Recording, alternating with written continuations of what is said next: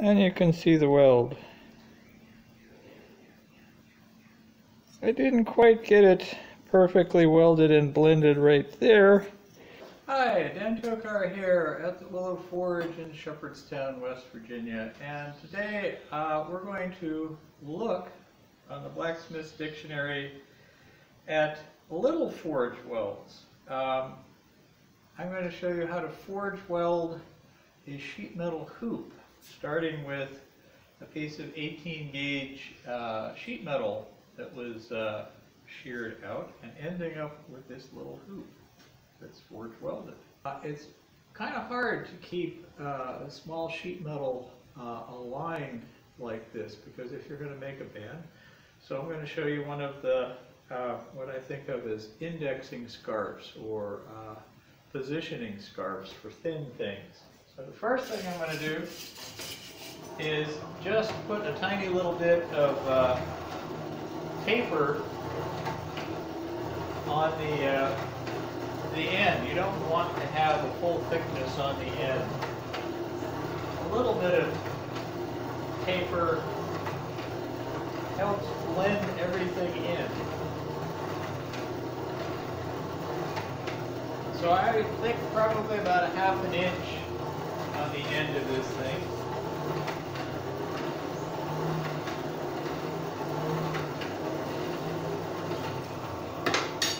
Doesn't need to be very hot.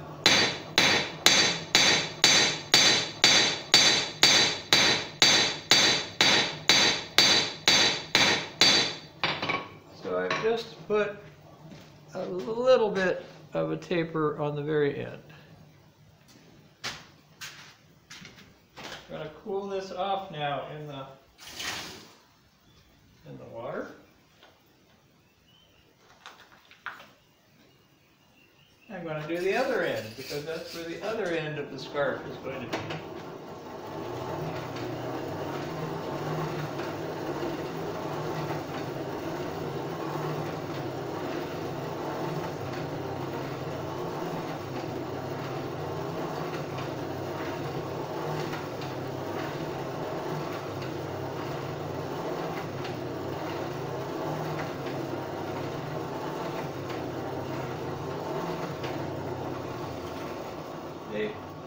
just the last half an inch or so gets to be tapered.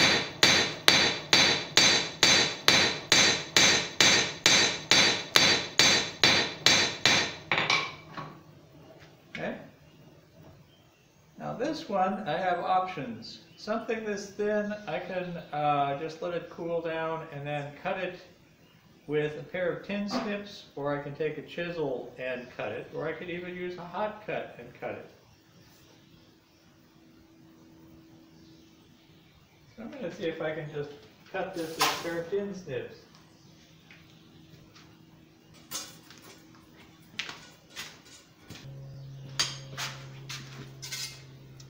So all I'm going to do is cut this into three more or less equal pieces.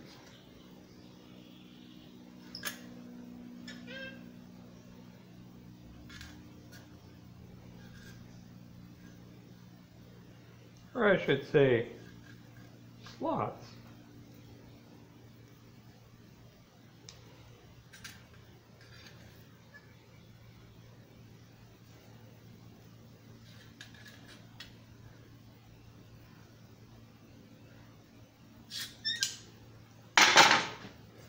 Again, you can see it's just about as long as the place that I tapered.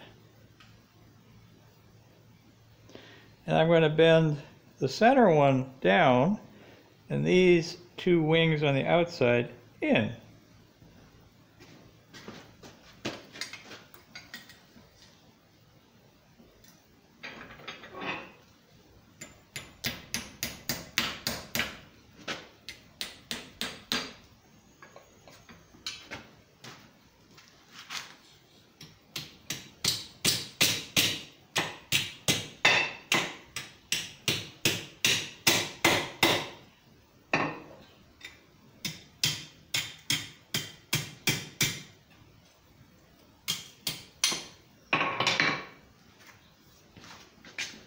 Like that.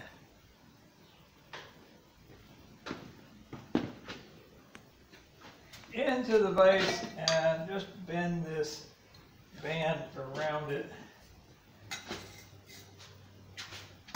Why don't I do it the easy way with pair of vice grips? I can just take the uh,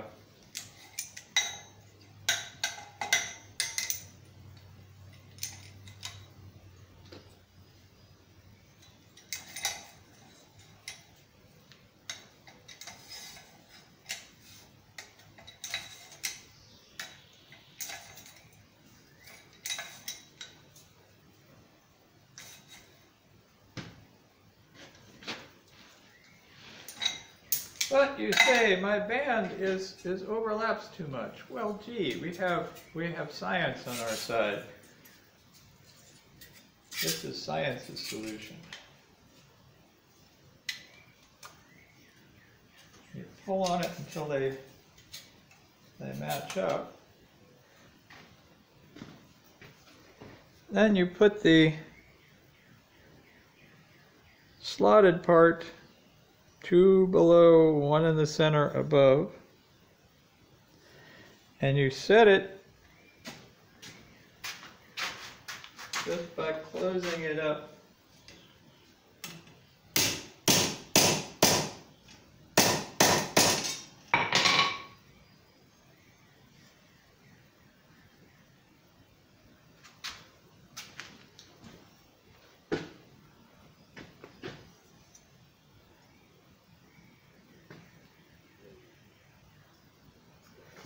Now I'm going to heat this up and flux it and weld it.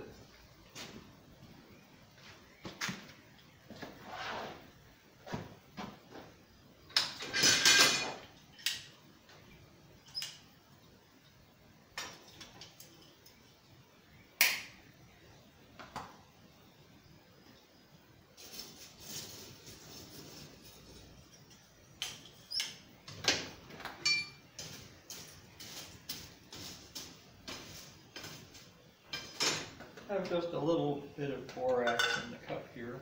It won't take a lot of borax.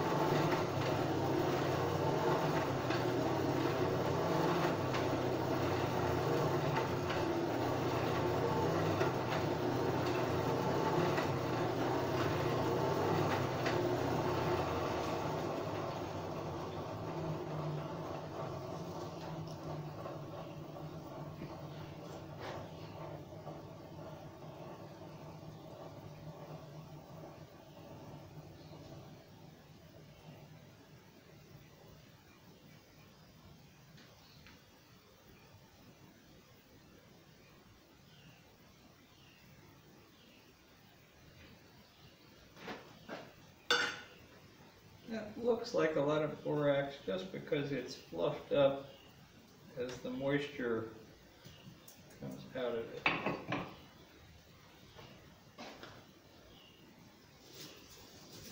Put that in the fire.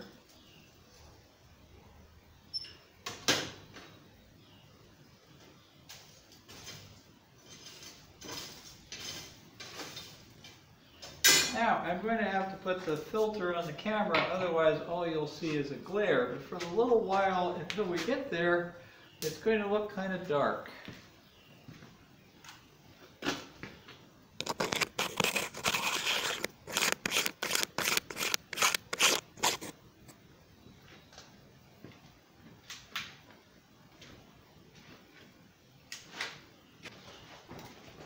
I'm also going to put on my leather apron just because anytime I forge weld, it's safer. T-shirts do not protect you from forge welding flux.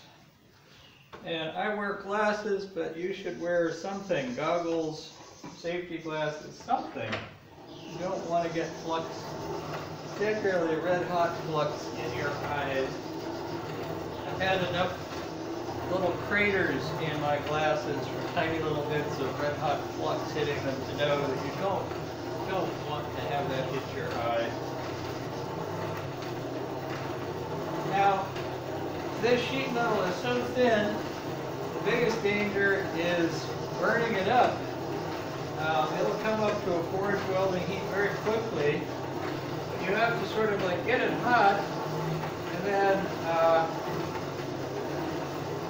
let the heat spread without burning it up. So get the whole fire kind of up to a forge welding temperature and then you'll back off and crank slowly or reduce the, uh, the heat a little bit.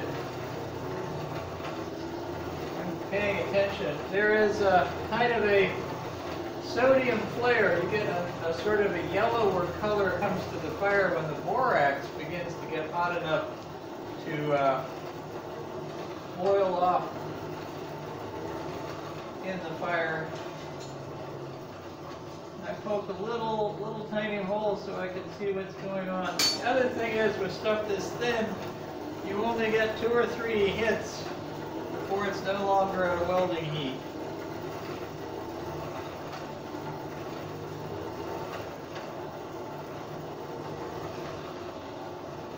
Alright, I am going to let it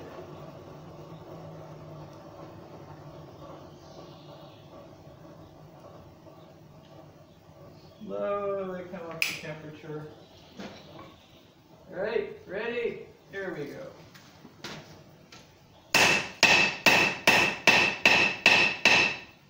And that's welded.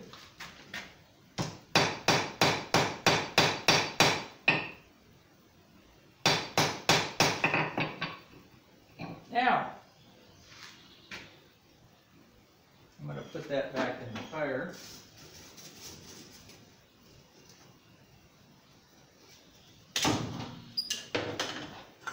Going to do an insurance weld, but I need some more borax.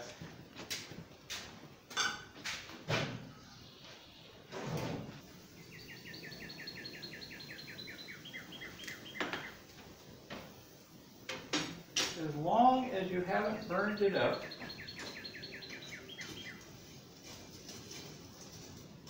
you'd be surprised how many times you can weld a tiny little piece like this. Nothing that says everything has to be perfectly welded in the first weld. It really is hard to get thin, thin parts to weld evenly because they are cooling off so fast that you can only hammer on a couple of spots before it cools off too much.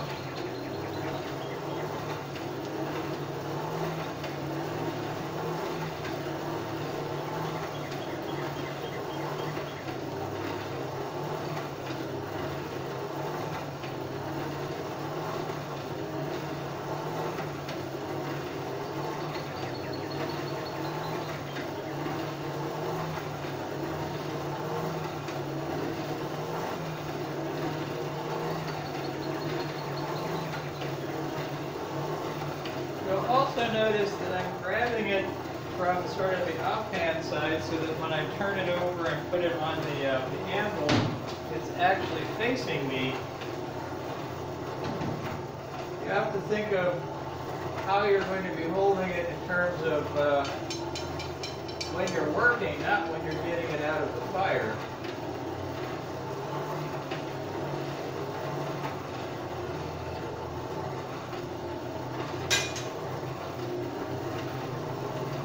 I have a well-trained there. It knows to stand up straight.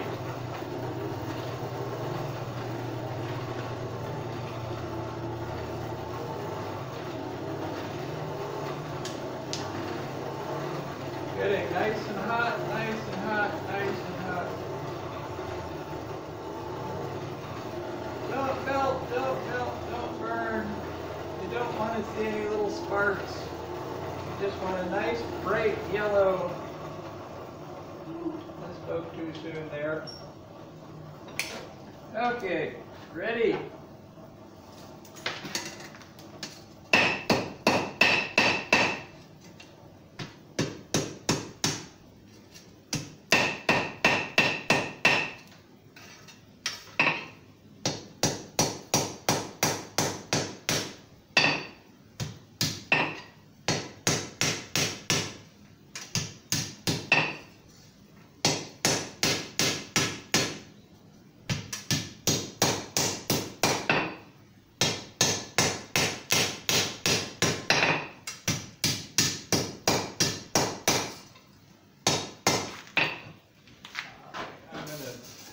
That in one more time. And then I'll do one last little insurance weld.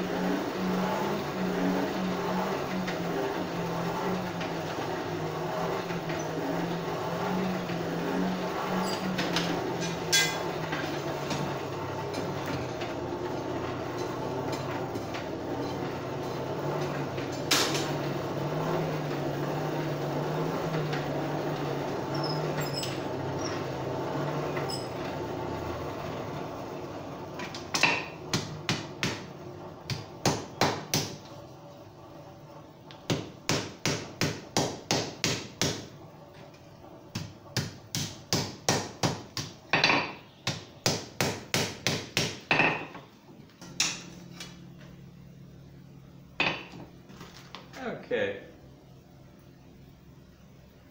So now I'm going to let this cool off a little bit and I will uh, true it up on the uh, cone mandrel.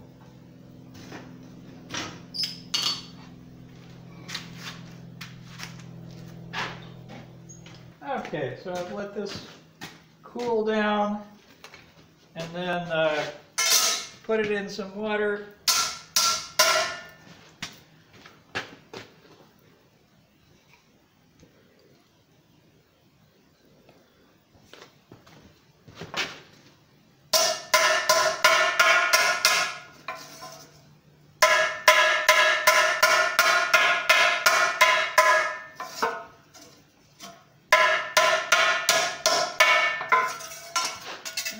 turn it over.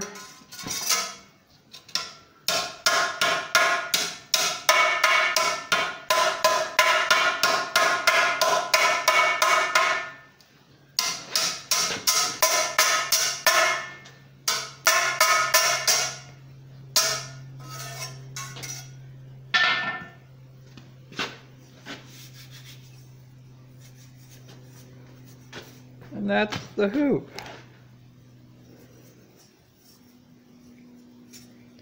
You can see the weld. What if I turn on a little more light here? Yes. And you can see the weld. I didn't quite get it perfectly welded and blended right there, but it's the same thickness and it's pretty much stuck together at least well enough that I could bang on it and make it into a hoop. It's actually quite strong. See, I'm trying to twist it. It's it's welded. If I was a real fuss budget, I'd go back in the fire and try and weld those uh, the very ends of the scarfs down, but that that is a very satisfying little forge weld.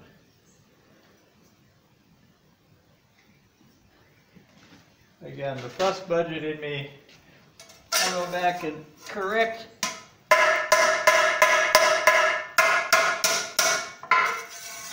The main thing is, is that you end up with a band that is uh, the same thickness uh, all the way around. You don't end up with any lumps